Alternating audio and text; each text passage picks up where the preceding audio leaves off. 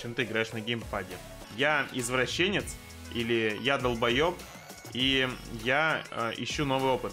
Выбирай ответ, какой хочешь. Не, ну пацаны, вы же знаете, да, топ-тек, топ-кек. А еще я стримлю на Твиче, можно как бы и туда подписаться. Фоллоу бесплатный, сабскрайб платный. Платным сабскрайберам как бы скоро будут сабдеи. Вот, так что вы знаете, где меня найти. Вперед. Чем должок отличается от Xbox контроллера, просто ни разу не держал Xbox контроллер в руках. Xbox. У меня, во-первых, контроллер Elite. У меня 4 лепестка сзади, которые дублируют одну из кнопок спереди. У меня был DualShock, вот такой. Но он у меня был с двумя лепестками, а этот с четырьмя. Здесь у меня был, вот эти два были. Один был иксом, второй был ноликом. Типа, на один я прыгал, на второй редачил. Мне этого было, оказалось мало, потому что мне сложно переключать вот сюда, на треугольник, большим указательным пальцем. Ну, сука, ну не... деревянный я, я не привык еще играть. На геймпаде, в принципе, а меня пытаются переучить, типа, говорят, типа, учись играть клоу. Типа, мне сложно. Я решил, типа, в этом плане себе чуть облегчить задачу, купил себе элит контроллер, скаф не захотел покупать. Купил элит контроллер, потому что он мне показался более эргономичным. На данный момент я не жалею, что я перешел на элит контроллер. Он мне очень нравится, он качественный. Хочу себе купить геймпад, выбор между DualShock с лепестками и элитом. Ценник один и тот же.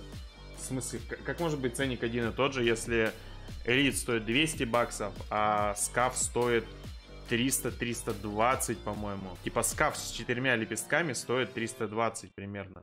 Если ты Э, про вот э, про эту фирму, которая называется Gearzet, по-моему, Gears, Gears. У них, да, у них четырехлепестковый стоит около десятки.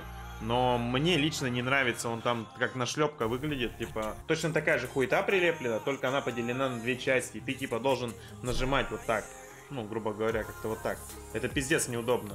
То есть, как по мне, это очень неудобный геймпад. Ни скаф, ни вот этот Gear Z, они не, не эргономичны. То есть, на них невозможно играть. По крайней мере, если ты, типа, новичок на геймпадах. Нахуй тебе покупать этот геймпад. Если ты новичок на геймпадах и хочешь сразу играть на лепестках, лучше купить это. Это я тебе говорю как человек с деревянными руками. Блять, и деревянные нахуй. Но я, допустим, я уже выработал более-менее хват. То есть вот с этой стороны я держу вот так. Вот, то есть у меня вот раз, два. Вот. А с этой стороны я держу вот так. Потому что я не могу с этой, вот с этой стороны я не могу держать так же. Потому что вот этот палец не будет дотягиваться до квадрата и треугольника. Bezel строит без пола, но у него там своя фишка, можешь погуглить. Да мне поебать, как строит Bezel. Чуваки, когда вы ориентируетесь на что-то, вы должны ориентироваться на общее движение. То есть, если 8 из 10 про игроков используют высокую сенсу, это означает, что вы тоже, скорее всего, должны использовать высокую сенсу. Хотя бы до момента, пока вы начнете понимать, почему они ее используют.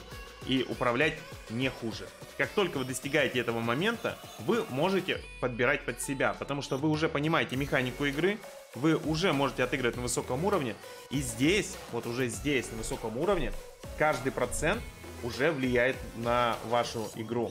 И тут вы уже сами вольны выбирать, что именно вы должны поменять в своей игре, чтобы, допустим, улучшить свои результаты. Возможно, возможно, вы э, можете играть без, без пола, но никогда вы играете как ебаный бот. То есть, если вы изначально строите без пола, потому что какой-то там Ghost Bezel, блядь, один из, не знаю, из 20, блядь, про игроков строит а, без пола, то вы долбоеб. Вот и все.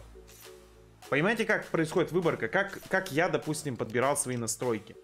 Я посмотрел у одного про игрока настройки, посмотрел у второго про игрока настройки, посмотрел у третьего про игрока настройки, посмотрел общую сенсу. Понял, что вот эта сенса должна быть примерно а, 700, 700 от, от 0.6 до 0.8. Это средняя сенса. В среднем у про игроков такая сенса от 0.6 до 0.8. У меня сенса, по-моему, гостысы. 0,680. Я ее поставил, просто поставил. А, сейчас я знаю, зачем это надо. Сенса прицеливания. Сенса прицеливания примерно в половину меньше, чем вот эта сенса. У всех. Вы можете это посмотреть. Вот эта сенса почти у всех в половину меньше. Зачастую в оптическом прицеле у многих еще чуть-чуть меньше. То есть э, Сенса на ПКМ на автомате, она в половину меньше основной. Сенса в оптическом прицеле еще меньше. Зачастую. Но чаще всего э, они одинаковые. Сенса при прицеливании, э, сенса, сенса при стройке и редактировании почти у всех от 1400 до максимума. То есть до 2.0. Вот, то есть вот, до 2.0. Почему? Потому что в этой игре а, важно быстро строить. Почти у всех. И я ориентируюсь на это. Потому что подобные вещи, они наигрываются десятками, сотнями людей. Они не просто так выбирают такие настройки, они их э, наигрывают. То есть есть первопроходцы, которые, допустим, идут в топ просто потому, что они охуенно играют. Вот а, это люди, которые хорошо адаптируются, они быстро понимают, что они хотят, и они быстро понимают, что им нужно делать. Они под себя это все примеряют, а потом другие челики идут позади них, которые пришли, допустим, позже в игру. Они по их лекалам могут чекать, что примерно нужно делать, как примерно настроить и что сделать, э, если ты хочешь развиться до такого хотя бы уровня. Ты берешь, смотришь у одного, смотришь у второго, смотришь у третьего, примерно накладываешь одно на одно и понимаешь, почему так. Почему люди делают так. И все. Это очень просто. Допустим, я не понимаю, почему люди не могут до этого додуматься. Они не понимают, почему там у меня, блядь, а, поставлено что-то здесь, что-то здесь, а что-то вот здесь. Допустим, мне многие говорят, что стоит переставить э, прицел и атаку вот сюда. А это, соответственно, сместить вниз. То есть, типа, э, целиться и стрелять на эти кнопки. Но я пока этого делать не хочу. Я спрашивал, почему э, люди так делают. Мне сказали, что это привычка с э, условной э, колды. Но у меня нет привычки с колды. Я не играл никогда на геймпаде. Соответственно, для меня это не, не играет какой-то большой роли. Потом я смотрю, допустим, есть люди, которые активно используют стик. То есть вот эту кнопку на стик они активно используют, некоторые ставят даже сюда редактирование. Для меня кнопка редактирования слишком часто используется, чтобы ставить ее на стик. Я не способен нажимать на стик так часто, как хотелось бы. Мне это неудобно. Поэтому я туда ставлю вещи, которые особо не нужны в постоянке. То есть э, они не нужны в файте, допустим, настолько сильно. То есть ты не должен переключаться туда-сюда быстро. Достать кирку в файте, один раз нажать на стик, можно. А вот нажимать редакт в 4 раза чаще, это сложно. Для меня. Для меня на текущий момент времени. Возможно, потом я переставлю свои какие-то кнопки и сделаю так, чтобы у меня, допустим, вход был в редактирование на стик, а лепестком я буду, лепесток я буду использовать как второй редактор. То есть я буду нажимать раз-два, типа у меня будет двойной кейбин. Возможно, а может не будет. Потому что я пока еще не настолько хорошо понимаю, как это все делается. То же самое здесь. Допустим, вот эти элементы ни у кого не поменены. Вообще ни у кого. Зачастую. То есть у 8 из 10 игроков, условно, вот эти элементы, крыша, лестница, пол, стена, стена, пол, пол стена, они у всех одинаково. Никто их не менял. Всем похуй абсолютно. Все просто э, проклацывают их так. При этом, допустим, прыжок. Прыжок у 9 из 10 на X, вот на вот этой кнопке. Они либо используют скаф, либо э, они играют в клоу и им не составляет труда нажать это, это, эту кнопку для прыжка. У 9 из 10. То же самое про второй режим. Типа строительство, этот. Она тоже зачастую вот здесь стоит. Либо, либо, либо стоит на Y. Ну, то есть здесь либо на треугольнике, либо на нолике. Вот. На этих двух кнопках. Зачастую. Зачастую оно стоит именно здесь. То есть, э, если, допустим, у тебя на треугольнике, на Y у тебя э, переход из режима, то здесь у тебя редактирование. Вот и все.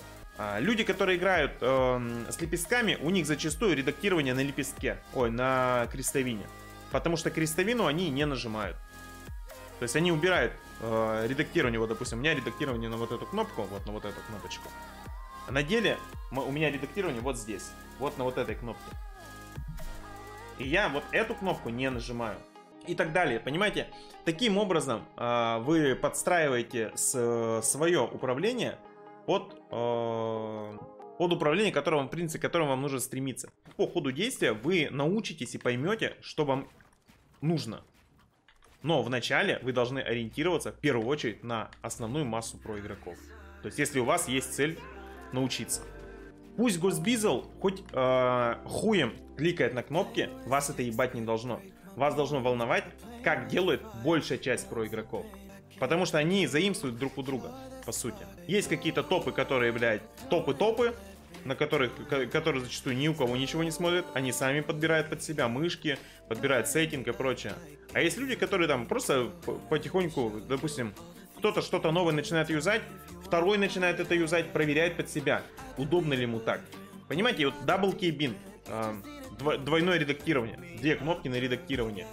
Сейчас это не используется повально, но многие игроки переходят к этому Key Bind, или он у них есть, просто для того, чтобы знать, что это. Э, я, я постоянно рофлю с каких-то дебильных э, мувиков, не мувиков, а роликов, в которых рассказывается, типа, новый неебический способ ретейка хайграунда через 60 построек и 25 редактов. Я всегда с этого рофлю. Потому что в паблике и в компетитиве это не рентабельно, это бессмысленная хуета. Эта штука только для креатива, только для какого-то условного сферического билдфайта в креативе. Но какой-нибудь сферический потейк, потейк в сферическом вакууме, условный потейк, игрок гамбит, знает 90% вот таких условных триксов. Они сидят и выдрачивают все. Вот все, что, все, что есть нового, они все выдрачивают и примеряют, типа, можно ли это использовать или нельзя это использовать. И в итоге кто-то использует, кто-то не использует. Но, как факт, 9 из 10 про игроков умеют и знают практически все мувы, которые сейчас возможны в Fortnite. Кто-то это использует, кто-то не использует. Какой-нибудь там э, условный ССК, по-моему, не использует э, скролл. Или используют уже, или не используют, хуй знает.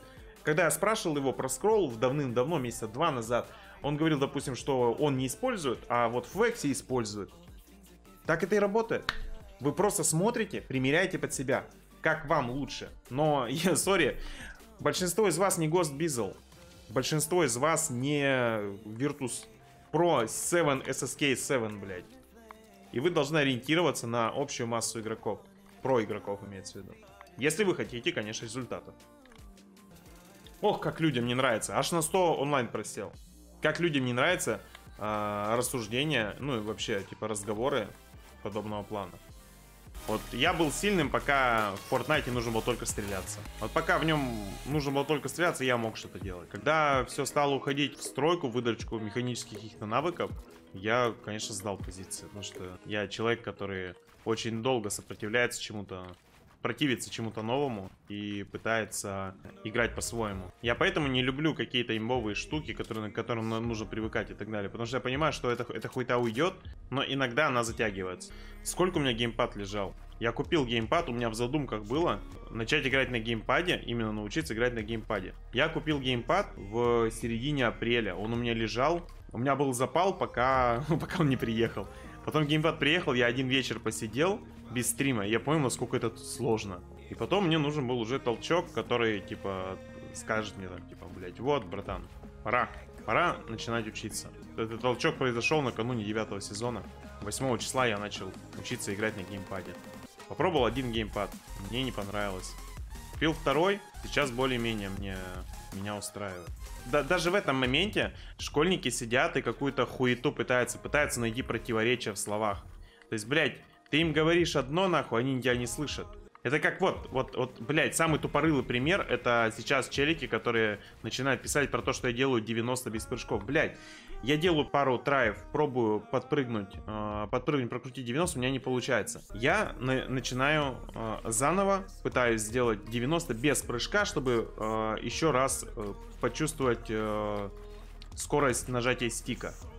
Делаю 3-4 этажа 90 без, без прыжка, все, в чат нахуй начинается вот эта залупа от долбоебов, которые... Блять, это не 90 нахуй! Это не 90, ты чё, охуел, блять? Ты же написал 90! Блять! Скорее пишите 90! Он не 90 крутит! Он же не прыгнул! Он что, москаль, блядь?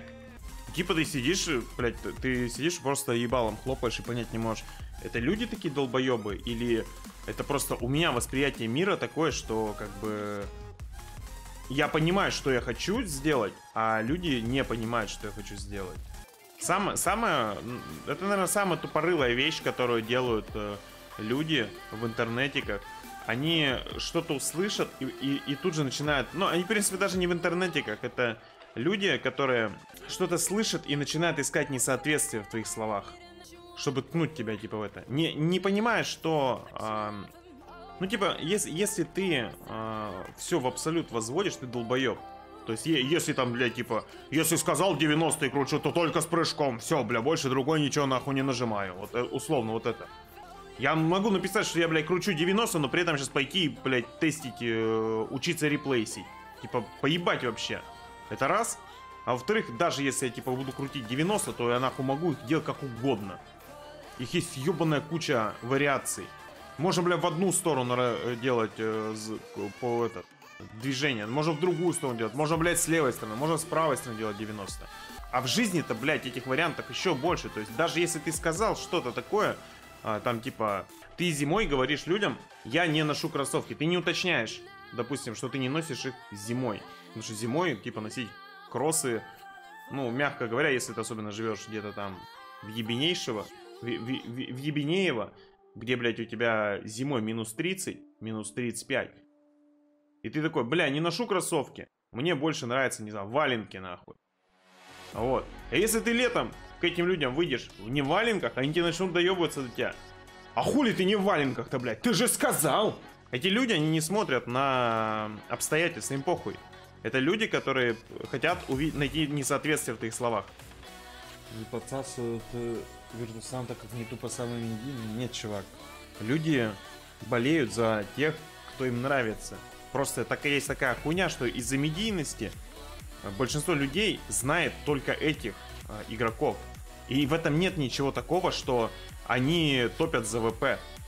Да, ВП самые узнаваемые. Ну, допустим, э, в комьюнити на данный момент Мирвана и, допустим, Мирвана и Престиж, они не менее медийные, по сути. Да, у них не такие известные орги, но при этом, как бы, по статье видно, что, что там, что Мирвана поднимает нормально. А, ну, имеется в виду по просмотрам там и так далее. Что Престиж, Престиж очень хорошо э, поднялся за счет того, что он с Авилоном корешится. За него тоже хорошо топят. Сори, у него, блядь, миллион триста просмотров на Twitch канале. У него, как у меня, блядь, просмотров на Twitch канале. Это дохуя. Особенно в Ру Fortnite, блядь. В котором, блядь, 6 тысяч человек в капе может его смотреть, блядь, и то только одного человека. Twitch платформа, которая продвигает известных людей чем ты известнее, тем лучше тебя продвигать, потому что люди к тебе заходят из-за циферок. Видят, что у тебя онлайн есть, значит они к тебе и заходят. И в этом нет ничего такого. Я уже не говорю о том, что Virtus.pro это одна из самых медийных организаций в нашей стране. Ну, типа, вообще в России. Понимаете? Люди привыкли болеть за своих. Особенно за самых известных, типа. Я насчет известности, я уже сказал, это нормально. И типа, упрекать чела за то, что он болеет, блядь, за более известную команду, чем ты, это долбоебизм. Тебя ебать не должно, за кого болеют, болеют другие люди. А как же Moscow Five Академии? Типа, сори, но, блядь, Moscow Five всегда была ро рофло, блядь, рофло тегом со времен э, ПГГ и его охуительного выступления на, на втором, по-моему, интернешнале. Когда он проспал игру, блядь. Блядь, я говорю вам о Moscow Five как о теге, который, блядь, Э, для меня ассоциируется с ПГГ и его охуительным провалом на Интернешнале втором. И его последующим хуевым выступлением, потому что там никто нормально не играл. Сори, но я не слышал о Moscow 5 нигде, кроме Доты. Кто сейчас Moscow 5, я даже не ебу. Потому что все самые сильные игроки, которых я знаю, они не в Moscow 5. Да, возможно, там играют сильные челы, но я их не знаю. Типа, назовите мне игроков Moscow Fight. Если я знаю хоть одного из этих игроков, и я знаю, что они сильные, где-то они выступали, то я скажу, да, это так.